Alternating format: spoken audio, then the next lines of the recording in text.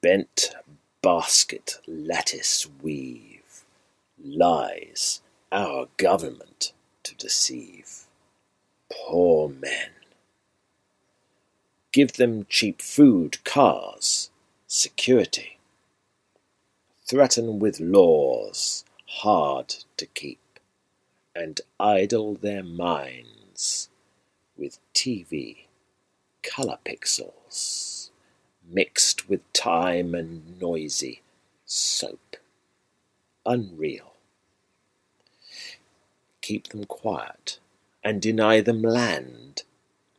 Make them pay a life for a mortgage, rising value, and they die with just a broken dream. When young, I had a dream, but now memories and regrets.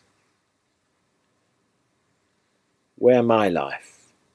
How did it pass, so fleeting, sitting, looking, waiting the day when I, with money, money to do, power to breathe, to do, and still I would, but now there are so many excuses and reasons why I should sit and stare and think about all the things I might have done before.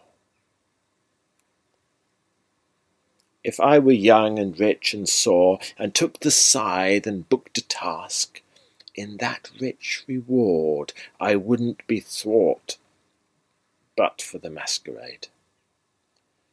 That's moved by sleight of men and darkened powers behind closed doors.